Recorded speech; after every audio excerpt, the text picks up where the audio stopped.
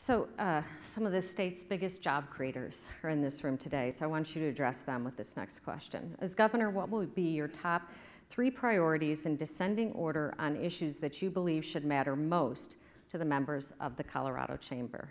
And Walker, you're first with this one.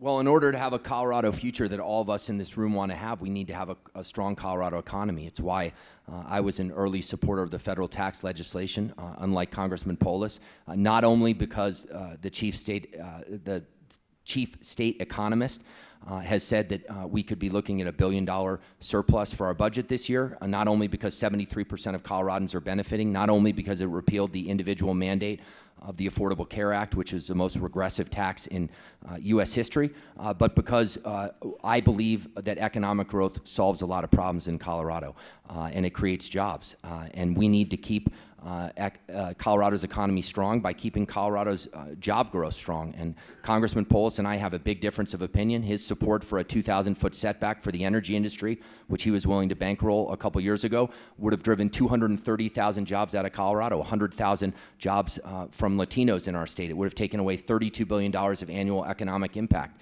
His state run healthcare system, he won't be able to find a single state to join us. This was tried in Vermont a couple years ago through a double digit uh, payroll tax on all businesses and double digit uh, tax increase on individuals, uh, and it will make care more expensive. Uh, not less expensive. It will make lines longer. It will create a greater shortage of doctors in rural areas, uh, and it will create uh, a critical uh, problem with people that have life-threatening illnesses to get the medication they need. And now that doesn't even account for the R&D jobs that will be lost at places like UC Health.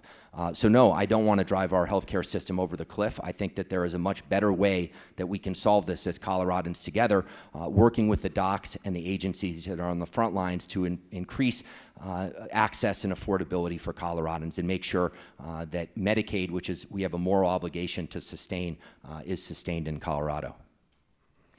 Thank you. I just wanted to be clear, since this comes up often, the uh, single payer option that you are considering, Jared, is an option in addition to private insurance, Medicaid, and Medicare.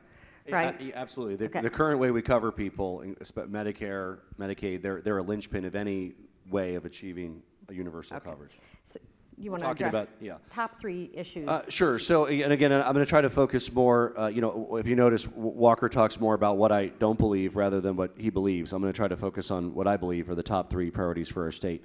Um, and we touched on one, and that's education. So it's about how can we make sure we have a workforce that is able to thrive in the 21st century economy.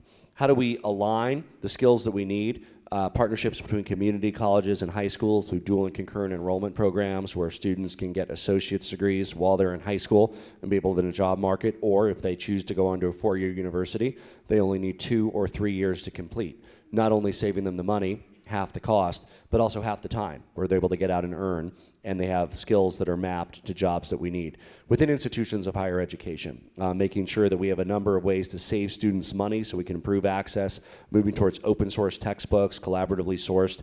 The average cost of textbooks at CSU, $1,100 a year. That's on top of room, on top of board. Uh, and we can reduce that significantly as long as tie any additional funding to tuition freezes or decreases at our institutions of higher education. Second, roads and infrastructure. Um, everybody in the room uh, moves people or goods, right? Whether it's your employees getting to work or whether it's goods that you manufacture or trying to reach market. And that is becoming an impediment to the success of our business climate in Colorado. The average cost to each one of you is about $600 in lost productivity from extra wear and tear on your car uh, and extra gas because of traffic. Um, we have a plan uh, that includes an all of the above approach, which means we need to look at bus rapid transit commuting solutions, expanding rail options to connect with existing light rail infrastructure to reach the final point, lane expansion. And I've actually successfully worked to deliver federal Tiger Grant funding to the Highway 36 project as well as 25 North in Loveland and Fort Collins, and worked with uh, Representative Scott Tipton to make Highway 70 westbound all the way to Utah a high priority freight corridor, opening up additional uh, federal investment in that as well. Finally, uh, we need to continue to expand and grow markets for grown in Colorado, made in Colorado products. I've been honored to work with Casey's and others on trade. Look forward to being a trade ambassador uh, as well as an ambassador for capital to uh, attract additional investment to our great state. Thank you.